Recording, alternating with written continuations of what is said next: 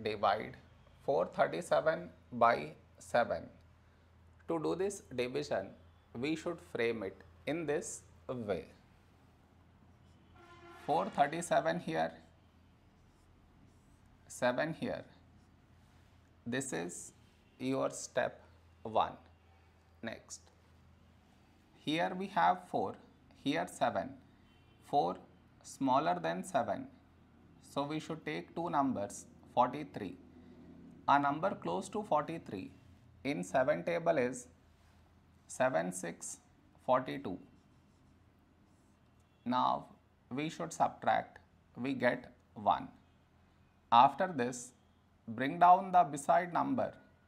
So 7 down, so 17. A number close to 17 in 7 table is 7 twos 14. Now we subtract, we get 3. After this, no more numbers to bring it down. So what we do is we put dot take 0. So 30.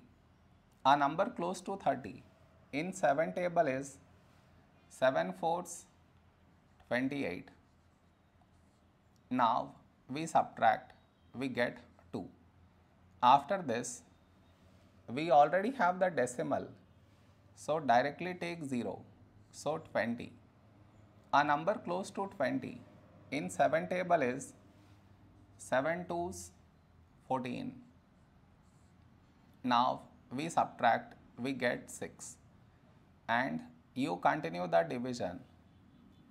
It is enough if we do up to 2 decimal places